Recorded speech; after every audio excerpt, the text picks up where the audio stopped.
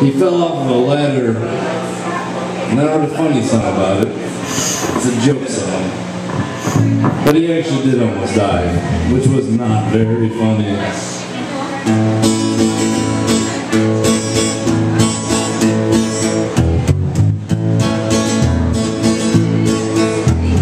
My dad fell off of the 14-foot ladder. His wrists were both broken and his cheekbone was shattered.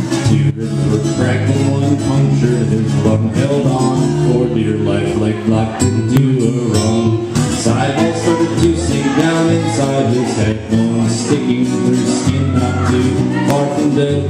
Made his way down a hallway all covered in blood. Called for help and then finally collapsed with the thud. Got a call from the doctor that day. I said, hey, what's the matter? My dad had fallen from a 14-foot ladder. I wasn't too certain if my dad would be leaving. He was inserted to help keep him breathing. Hooked up on morphine, he just kept on grinning.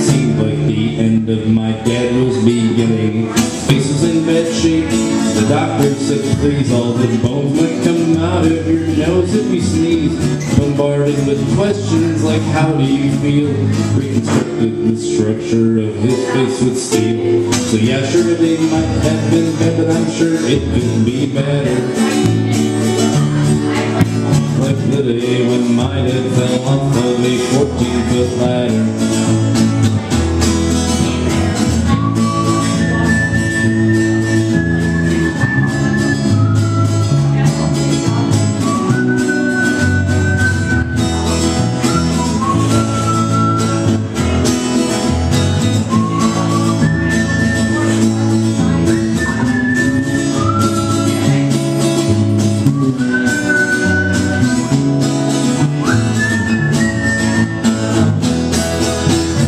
Nowadays, my dad has got a lot on his plate. It seems like each week he's got new girls to date. He can't keep up with his bills and he lives beyond his means. If my dad were a pair of pants, he'd be ripped at the seams. Still one good thing left to say, and I swear I'm not joking. Yeah, it sucks that my dad is so broke, but at least he's not broken.